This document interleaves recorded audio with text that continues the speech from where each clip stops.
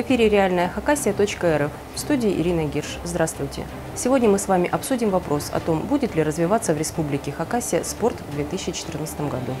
Вслед за кикбоксерами закрывают залы у борцов греко-римского стиля. В этом здании все пропитано потом побед, которые славили Хакасию. Воспитанники детско-юношеской спортивной школы завоевали медали и победы как на российском уровне, так и на международном.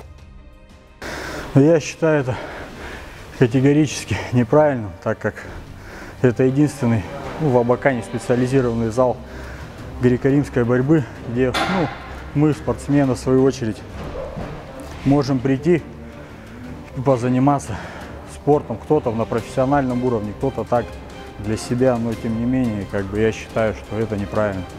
Вот этот зал для республики Хакасия единственный. Сюда приезжают э, ребятишки э, взрослые с Аскийского района, с Бейского, Таштыбского. То есть все лучшие спортсмены приезжают перед крупными соревнованиями.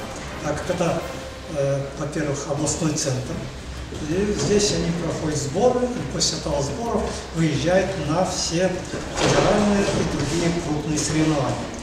Э, в данный момент двум тренерам, Геннадию Васильевичу Трекову и Баргаякову, э, не предоставляется рабочее место, то есть спортивный зал, то значит ребятам негде будет тренироваться и повышать квалификацию, которые приезжают из других районов Республики Хакасия. Создались такие условия на данный момент, что у нас мы остаемся без спортивного зала. Хотя впереди первенство Сибирского федерального округа по всем возрастным группам. Затем финальные финалы первенства э, России по этим э, возрастным группам. На данный момент ситуация такая создалась, что нас просят освободить вот этот один единственный зал, по гре, базовый зал по греко-римской борьбе до 15 января. Зал принадлежит Министерству образования. Из каких соображений и кто это придумал, такой, внес такое предложение, непонятно.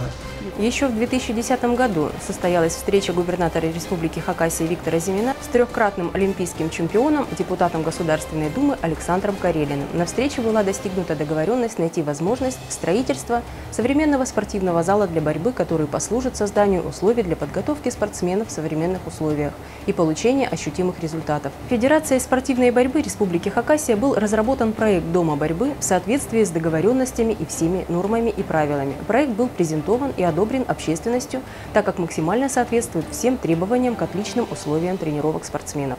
Современное здание позволит проводить в Хакасии соревнования международного уровня. В январе 2013 года министерство пыталось протащить свой проект, преследуя коммерческий интерес.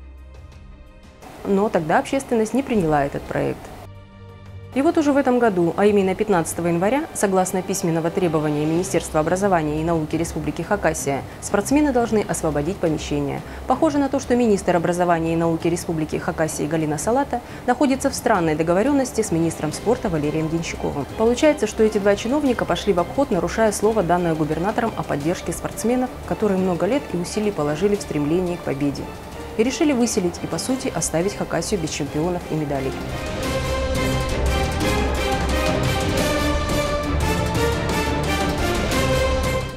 Следующем сюжете мы вам назовем имена депутатов Верховного Совета Хакасии, представляющие строительный бизнес, которые активно лоббируют свои интересы через высокопоставленных чиновников от спорта и образования, преследуя свои коммерческие интересы.